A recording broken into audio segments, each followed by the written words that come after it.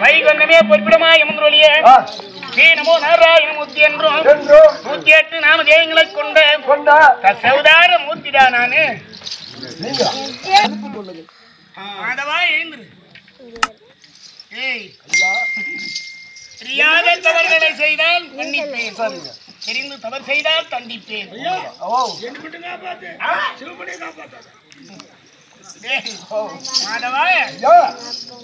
அதாவது சங்கு சக்கரம் கதைவால் கோதண்டம் தருத்திரலிய.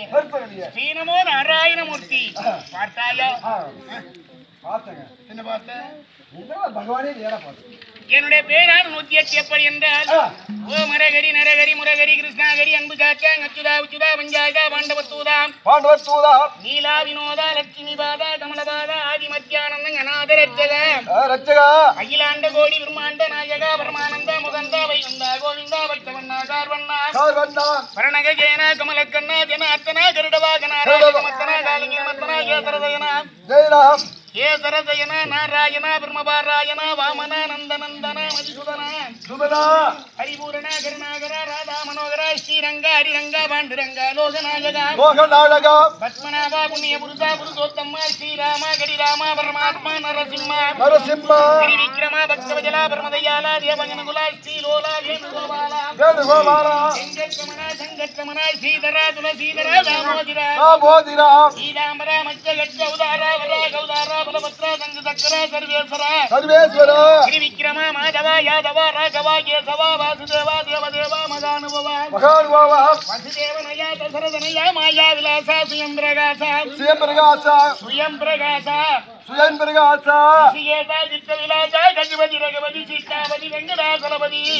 சலபதி மாயா ஞாயா வெண்மையுண்ட நேயா கண்டர்கள் நம்புய்யா உலகுண்ட வாயா நானாவாயா ஆயா பக்தர்கள் சகாயா சதுர்புஷா கருடத்து வாசா கோதண்ட சிஷ்டா சிஷ்டா ஓ நமோ நாராயணா ஸ்ரீ நமோ நாராயணா நீலவர்ணனே மேகவர்ணனே.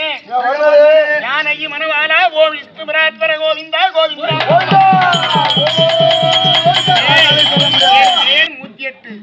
அவதாரங்கள் பத்து. அதவா அதாவது காலை மாலை. இரண்டு நேரமும் கேட்டால் கேட்டால் சகல செய்த பாவங்கள் துளைந்து துளைந்து ஜென்மஜாபலியும் அடைகிறாய். ஏனென்றால். ராமா என்றால் அன்று செய்த பாவம் அன்றே துளைந்து. அன்றோடு அவன் செம்ம சென்மஜாபலியும் அடைகிறான். புரியுதா. என்ன துரத்திட்டு வர அடிக்க. உங்க அண்ணன் மகனானா? இல்ல தெரியாதானே தெரிஞ்சு செய்யணும். தெரியாத கொண்டு விடாத தெரிஞ்சா உயிர் வராது. சரிதா பரவாயில்ல நல்ல தெரியாத செய்தன் தெரியாத செய்தன் சாமி எட்டு வதைக்காதா ஆடவா ஏய் அதாவது செய்த தவறுகளை மன்னிப்பதே இறைவன். ஆமா. புரியுதா? அதாவது யுகமோ நான்கு. நான்கு. திரைதா திரைதா துவாபரகலீகம் என்று சொல்லக்கூடிய சொல்லக்கூடிய நான்கு யுகமாகவே ஆகவே நான் எடுக்கப்பட்டது தசவுதாரம் ஆஹா. தசவுதாரம் என்றால் எத்தனை? ஆ, சொல்லுங்க. ஏழுங்கிறத ஏழு ஏழு பதினாலா போடலாம். சொல்லுங்க நீங்க சொல்லிட்டாங்க கேட்டாரு எனக்கு முதல் என்பது திரைதா யுகம் என்பது பதினேழு லட்சத்தி இருபத்தி எட்டாயிரம் வருடம். வருடம். அதிலே மச்சம் கூர்ம வராக நரசிம்மம் என்று சொல்லக்கூடிய சொல்லக்கூடிய நான்கு உதாரம் எடுத்தேன். முடிந்தது. முடிந்தது. இரண்டாவது யுகம் திரைதா யுகம். யுகம் திரைதா யுகம் என்பது பன்னெண்டு லட்சத்தி தொண்ணூத்தி ஆறாயிரம் வருடம். வருடம். ஐந்தாவதாக வாமன உதாரம் எடுத்தேன். எடுத்து. ஆறாவது பரசுராமனாக அவதாரம் எடுத்தேன். எடுத்து. ஏழாவது ராமாவதாரம் எடுத்தேன். எடுத்து. அதோடு முடிந்தது முடிந்தது மூன்றாவது துவாபர யுகம். யுகம் துவாபர யுகம் என்பது எட்டு லட்சத்தி அறுபத்தி நான்காயிரம் வருடம். வருடம். அதிலே பலராமன் என்று சொல்வது எட்டாவது அவதாரம். பகவான் என்று சொல்வது இதுவே ஒன்பதாவது அவதாரம். அவதாரம். அதோடு துவாபர யுகம் முடிந்தது. இதுவே கலியுகம். கலியுகம். கலியுகம் என்பது. நான்கு லட்சத்தி முப்பத்தி ரெண்டாயிரம் வருடம். வருடம். அதிலே கல்வி என்று சொல்லக்கூடிய சொல்லக்கூடிய பெருமாளாக நான் அவதாரம் செய்திருக்கிறேன். இருக்கிறேன் ஏ மாதவா இதுவே தசவதாரம் அதாவது இந்த ஊர் பரவாயில்ல. பணம் படுத்திருந்தாலும் ஆ கலைக்காது. நின்னுகிட்டு உட்கார்ந்துருக்கிறவங்க கதை கேட்கறாங்க பாரு. அதாவது தாரக பிரம்ம பொருள். தூங்குறவங்க? நான் அதை சொல்லக்கூடாது ஆ, டேய் ஆ, தூங்குறவங்க தூங்கி போறாங்க. ஆ, ஏனென்றால். அதாவது வந்து அவரவர் செய்த ஊழ்வன பலன். பலன். என்ன நடக்கும் எப்போ நடக்கும் எந்த நேரத்தில் நடக்கும் தெரியாது. நாம் செய்தது நம்மை அழிக்கும். ஆமாம். அதான் கீதையில் கிருஷ்ணன் என்ன சொல்கிறார்? மாவத் சாவகே பரஸ்வரம். சொல்ல. ஏன் அதெல்லாம் சொல்லி என்னத்துக்கு? நீ சொன்ன மாதிரி நான் சொல்லி போடுவேங்க ஆ, சொல்லுங்க சொல்றது பாப்போம். சொல்ல பண்ணி ஆ, சொல்லுங்க. இல்ல நீங்க சொல்லுங்க. மாவத் சாவகே பரஸ்வரம். மாவத்து சாவகை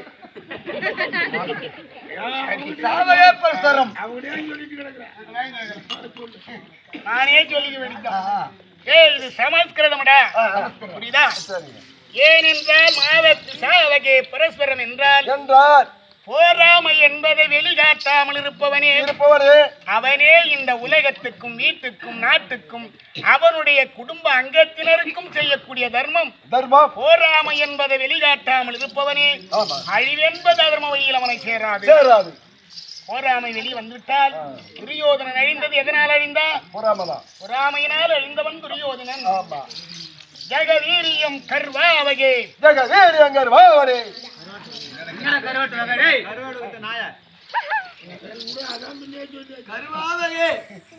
ஜெகவீரியம் கர்வாவகே. அதாவது ஜெகவீரியம் கர்வாவகே என்றால் தன்னுடைய நலனுக்காக பிறரை துன்புறுத்தாதே. இறை இந்த இங்க படுத்திருக்கிறாங்களே.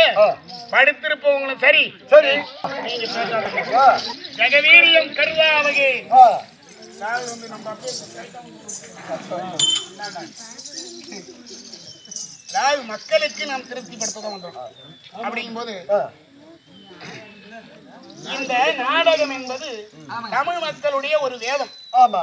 அதாவது எதற்காக நாடகம் வைக்கிறோம்? வைக்கிறோம். பணம் இருக்குதுன்னு வைக்கிறது இல்ல. இல்ல அதாவது நம்முடைய ஊர்ல ஒரு பேர் வருங்கிறதுக்காக வைக்கிறது இல்ல வைக்கிறது கிடையாது. ராமா என்ற வார்த்தையை காதால் அன்று கேட்டான்.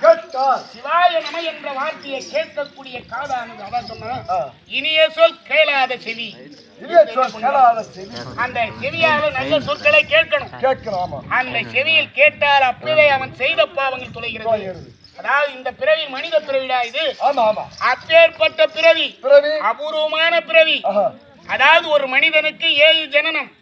இப்போ நாம் இருப்பது இரண்டாவது ஜனனம். இரண்டாவது ஜனம் அதாவது இந்த ஒரு பிறவில் தான் சிந்திக்க தெரியும் தெரியும். சிரிக்க தெரியும் தெரியும். பேச தெரியும் தெரியும். அடித்தால் வலிக்கும்.